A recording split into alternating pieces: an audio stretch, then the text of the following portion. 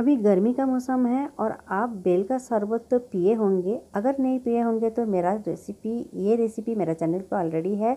आज मैं बनाऊँगी बेल का पफसिकल्स अगर बच्चा नहीं पसंद करते हैं शरबत तो आप इसे पेस्टिकल बना के दे सकते हो।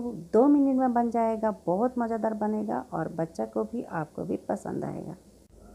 हम बना रहे हैं बेल का पफसिकल्स तो बेल लेना है आपको। और इसे आपको तोड़ लेना है। आप कैसे भी तोड़े, आप पटक के भी नारियल जैसा तोड़ सकते हो। देखिए, मैं तोड़ ली हूँ इसे। इसे एप्पल वुड भी कहते हैं। मार्केट में आपको इजीली मिल जाएगा। और तोड़ लेने का बाद देखिए, इसका अंदर में ऐसा टाइप में रहता है। और इसका जो पाल्प रहता है, इसे आपको स्पून का मदद से एक बोल ले लेना है और बोल में इसको निकाल लेना है। पूरा अच्छा तरीके से इसको निकाल लेना है।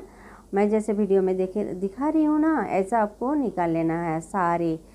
देखिए, मैं निकाल चुकी हूँ, इसका पाल इतना निकला है और इससे आपको थोड़ा सा पानी डाल के और हाथ पहले से वॉश कर लेना है आपको। मेरा हाथ ऑलरेडी वॉश किए हुए है और इसे अच्छा से छान लेना है पानी का मदद से। और पानी आप ज़्यादा एक साथ में ना डालें धीरे धीरे डालें, क्योंकि पानी ज़्यादा डाल देने से पतला भी हो सकता है।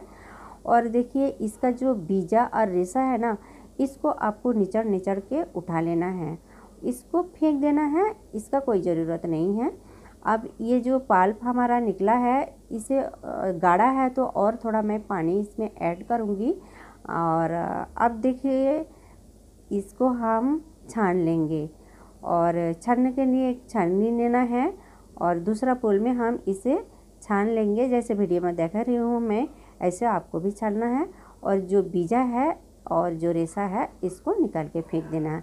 देखिए, अभी ये गाढ़ा है बहुत और इतना गाढ़ा में पॉप्सिकल्स नहीं बनेगा।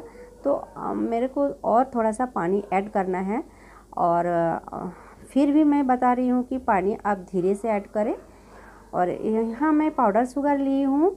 ऐसे बेल मिठास रहता है तो शुगर आप ध्यान से डालें आप टेस्ट अकॉर्डिंग डालें। तो मैं इसको धीरे धीरे डालूँगी, एक साथ में नहीं डालूँगी। अगर टेस्ट करके मैं देखूँगी तो देखिए कि मेरे को पूरा लगा थोड़ा सा मिठास कम था तो मैं पूरा चीनी डाल दी। इसका कंसिस्टेंसी आप देख लीजिए, ये ऐसा रहेगा। ज़्यादा गाढ़ा नहीं की और ज़्यादा पतला भी नहीं।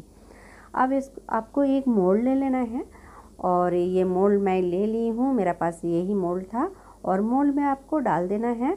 अगर आपके पास मोल्ड नहीं है तो आप ग्लास में भी बना सकते हो, स्टील का ग्लास हो, पेपर का ग्लास हो, आप उसमें भी बना सकते हो, आराम से इजीली बन जाएगा।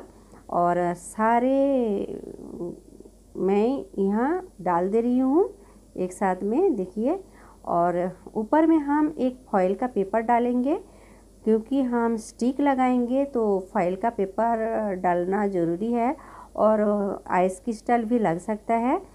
अगर आपके पास फॉइल पेपर नहीं हो तो आप पहले इसको फ्रीज़र में रख दे डेढ़ से दो घंटा के लिए। उसके बाद थोड़ा सा सेट हो जाए तो आप उसके बाद आ, स्टिक लगाए। क्योंकि अभी लिक्विड है स्टिक लगाने से स्टिक ठीक से सीधा नहीं रहेगा। सीधा रहने के लिए स्टिक को फॉइल का पेपर डालना ज़रूरी है। अगर नहीं रहे तो आप दूसरा प्रोसेस अपनाएँ। तो अब हम इसे आठ से दस मिनट या तो ओवरनाइट डीप फ्रीज में रख देंगे। मैं ओवरनाइट इसको रख दी थी और अभी फ्रीजर से मैं निकाल के लाई हूँ। देखते हैं ये कैसा बना है। अच्छा ये फ्रीजर से निकालने का बाद साथ ही साथ ये डिमोल्ड नहीं होता है, इसे पानी में थोड़ा सा 20 से 30 सेकेंड डिप करके रखना पड़ता है, जो वीडियो मेरा स्किप हो गया। सॉरी मैं नहीं दिखा पाई हूँ तो इसे मैं धीरे धीरे डिमोल्ड कर ले रही हूँ। आज का रेसिपी आपको कैसा लगा कमेंट सेक्शन में ज़रूर बताइए। अगर अच्छा लगे तो इसे लाइक और अपना दोस्तों में शेयर करने ना भूलें। चैनल पे पहली बार हो तो सब्सक्राइब करके जाए। इंशाल्लाह मिलते हैं नेक्स्ट वीडियो में। अल्लाह हाफिज़।